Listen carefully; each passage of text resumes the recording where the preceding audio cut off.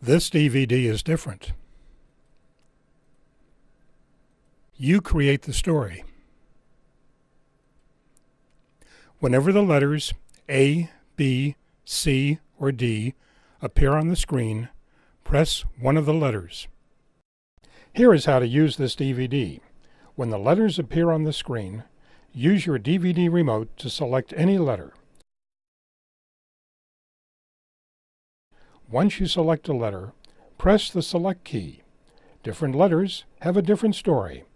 Have fun creating what happens next on your trip through Adventureland.